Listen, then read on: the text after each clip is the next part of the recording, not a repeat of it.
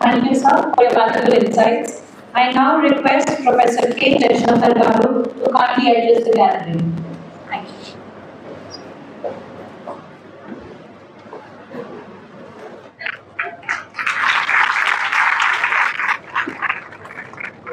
Good morning, all of you, dear friends, experts on the dais, of the dais, honorable judges, Mr. uh, my colleague, uh, Professor T. uh, principal, and other all members of the Education Society. I did honor and privilege to be standing in front of you, and uh, I had a brief interaction with the board members, and uh, uh, this college has uh, done a lot of achievements academically. I was wondering that when it will become a university, so I wish uh, this college proves in the leaps and bounds. And uh, that shows that the community, especially having a program on AI and law, Uh, in past 25 years, a big leap in technology. You see that uh, before the 2000, uh, there was no social media. Uh, there were emails, there were internet, but the growth of social media brought people who are in distance near us. People who are near have become distant as society grow.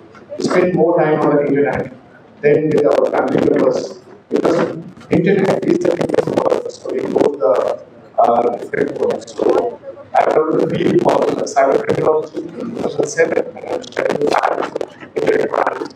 The field of people online and I find that people behave differently when they go online than they come back to the offline space. And to add on now, a significant growth of uh, AI has come. And artificial intelligence is more disruptive as uh, Professor mentioned, but our people to be used to that is something that we need to check on because of the fact that uh, it cannot substitute our real intelligence, our common sense. But we are trying to do that, and uh, as I see that in future, we may have people who may be educated, but they may become illiterates. So the danger lies ahead with the society that a person will have a degree and they'll be educated, but they cannot write or speak few words because they'll be entirely dependent on the technology. And that is a kind of a dangerous road which we are traveling in. However, AI has uh, its own advantages and disadvantages, and uh, a lot of developments are happening. People are trying now. Actually, it's a technology which is in the beta mode. It's not fully grown now.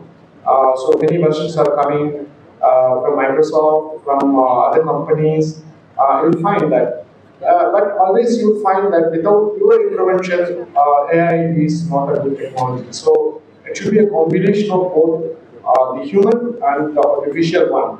Otherwise, it will remain as the word it is, that is artificial. Um, I have a presentation on the same, and I will be talking on that, so I won't take much time of yours.